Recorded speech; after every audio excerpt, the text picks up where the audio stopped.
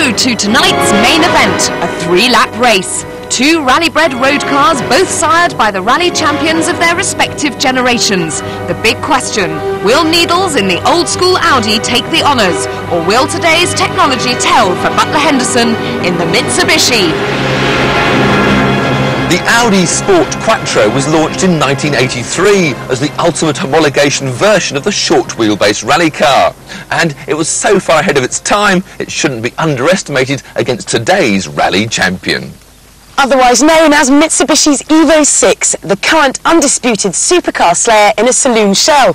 It's got loads of power, tons of grip, and it'll change direction faster than a ball bearing in a pinball machine. Which still won't be fast enough to beat me in this Audi. See you at the finish line, Vix. Oh, poor deluded boy. You don't know what you're dealing with.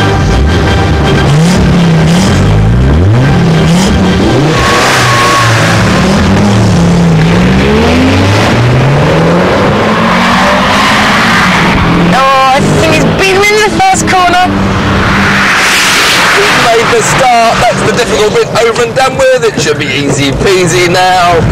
This five-cylinder 2.1 litre turbocharged engine has got an amazing 306 horsepower, which will launch it to 60 in just four and a half seconds, and it'll go on to 155 miles an hour. Come on, Tiff, you're holding me up. Come on. Ah, oh, as I suspected. Oh no! No! Her uh, Mitsubishi's got more than the 280 horsepower in the Japanese brochure. Well, if you can't win fairly, cheat. What? He's cheating. I don't believe it. Needell is cheating.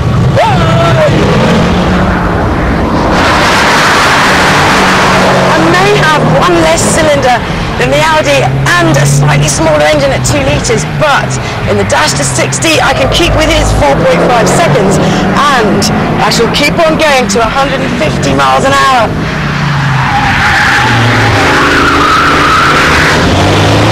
handling is, well, it's variable. It's nicely balanced, a bit too much oversteer. I think the differentials are a bit tired on this poor old car. But then she is 17 years old. Oh no, here she comes. Ah, adios, old boy. Right, he cheated. Play at that game. Oh no, that's not fair. That's my trick. Power delivery in this thing is wonderful, particularly when the turbo kicks into action. It rockets me forward. Oh, she's a wonderful car to drive, but I don't think we're going to catch Vicki now. yes! Never mind, girl. We've done. Well, there you are. Proof that new technology has moved four-wheel drive on to new levels. Youth triumphs over old age. Hey, Tiff?